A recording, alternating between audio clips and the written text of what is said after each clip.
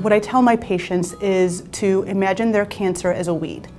Traditional treatments attack the weed and try to prevent it from growing, surely. What integrative oncology does is it also looks at the soil that surrounds the weed, that houses the weed. And it looks at the soil and tries to optimize it and tries to make the soil as inhospitable as possible so the weed won't grow anymore.